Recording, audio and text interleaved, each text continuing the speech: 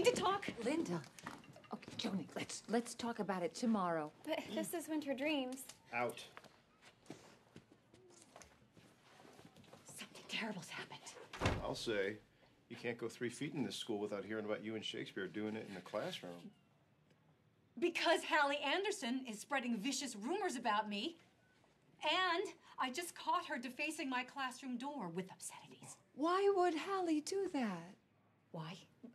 Because yesterday I caught her messing around with Jason Sherwood in the boys' dressing room. That's why.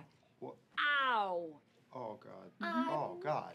You should have told I told gave her a warning. I just, I I thought that would be enough. I, I, I didn't expect all this to happen. It's typical.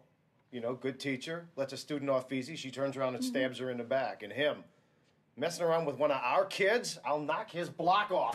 Where- where is Hallie now in rehearsal? Well, uh, y- y- yeah, yes, but I, I don't, I don't, I don't think really have to do this now and in, in front of everyone? I thought you could just pull her into your office. Well, we got to clean this mess up before it gets any worse. These types of rumors can do real damage to a teacher's reputation. Even one as sterling as yours. I'd really rather Damn not it, be Linda, these for- punks took advantage of you. Now you gotta look them in the eye and tell them you're not gonna roll over for their BS. You.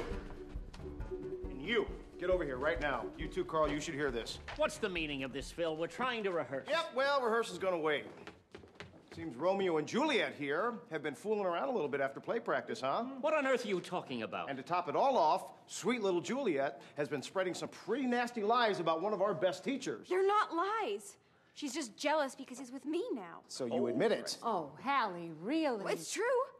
She did him in her room. Everyone knows. Okay, now you listen, you are digging a very big hole for yourself right now. Where are you going, Hallie? You get back here, miss! Hallie! Hey, what's with all the shouting?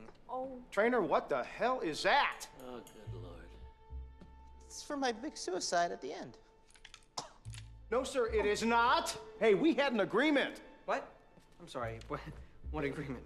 Uh, I can explain. Don't play dumb, Romeo. Now, you know damn well we had to cut that ending. What? What?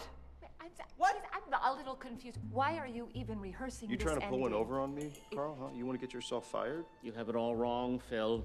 As usual, this is merely an experiment. Yes, I wanted the actors to experience the full darkness of Jason's play, but it was never my intention to perform the ending. After all, we did agree to cut it.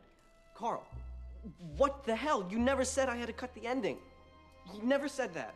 But it wasn't my place to tell you. Uh, It was my understanding that Linda cleared it with you when you signed the contract. Carl, no. You knew? Carl, no. You knew?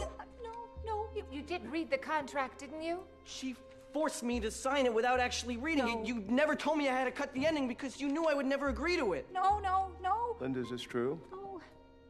No. Is it true? Is that true? Yes, but I can explain because it's complicated. Might be jealous of during a makeout session in the boys' dressing room. No, you'd rather have a quick fuck in the classroom with one of your own students. Is that what you want? You want me to bend you over the desk right now? God knows you need it. Oh. Wow. Oops. Told you. She's a lying old whore. She's all. Oh. Where? Linda, you're fired. You better run. You hear me? You are fired, lady! Yeah, who's trashy now? Hey, Linda! Linda, leave me alone. Don't run away from me. How could you lie to me like that? I trusted you, and you sat there and you lied to my face. Get away! No! No! Fuck! No! Not again!